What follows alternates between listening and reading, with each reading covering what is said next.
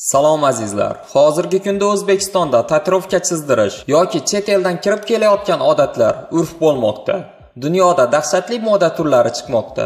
Hozir odamlar orasida faqat kiyim modasi emas, balki tana modalari ham urf bo'lmoqda. Bu videoda siz tanasini dahshatli bezagan 10 ta odamlar bilan tanishasiz. Demak, boshladik. Tish ko'rinishini o'zgartirish Tish ko'rinishini qasddan o'zgartirish, yo'nish yoki kesish. Bilsangiz kerak, tishlar odam hayotida bir marta chiqadi. Tishni kesish yoki sindirish bu ahmoqlik. Lekin hozirgi zamonda bu narsa urf hisoblanadi. Labdagi tunnel. Bu odat ko'pchilik mamlakatlarda urf bo'lishga ulgurgan. Labning pastidan teshik ochiladi va unga naycha tiqib qo'yiladi. Bir yoki ikki oydan keyin naycha olib tashlanadi. Va qarabsizki mana bu holat kelib chiqadi. Bo'yin uzuklari bunday uzuklar tailandda urfga aylangan. Bu odat natijasida odamlarning bo'yni 30 santimetrdan uzunroq o'sishi mumkin ekan va buning zararli taraflari bor. Bu narsani olib tashlab bo'lmaydi chunki bu narsa olib tashlansa odamlarning bo'yni boshini ko'tara olmay sinishi mumkin ekan. Kichik tildagi uzik. Ko'pchilik bu holatni ko'rib qo'rqgan bo'lsa kerak. Shuning uchun ham bunday uzuklar dunyo bo'yicha atigi 300 ming odamda bor ekan.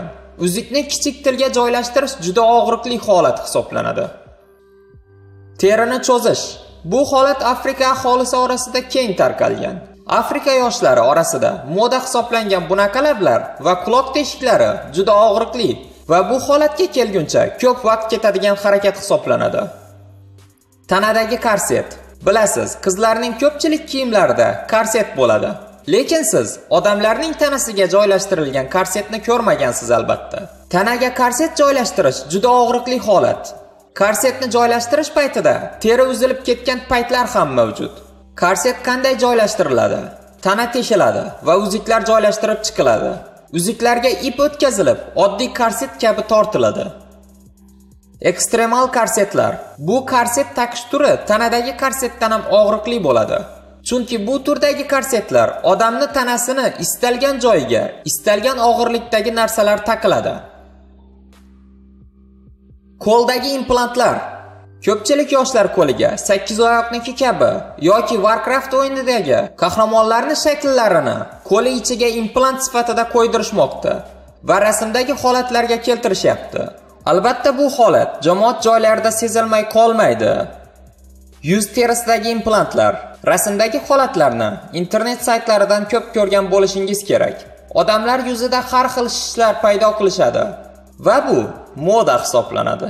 Og'riqni sevuvchilar uchun ko'ngil ochar mashg'ulot. Tamg'a bosish. Siz o'z tanangizga tamg'a bostirishni xohlaysizmi? Siz xohlamasangiz, buni xohlovchilar dunyo bo'yicha talaygina topiladi.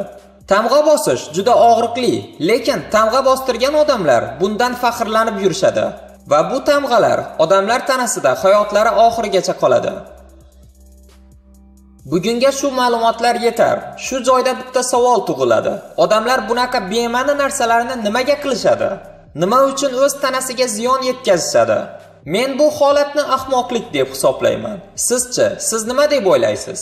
Fikrlaringizni izohda yozib qoldiring.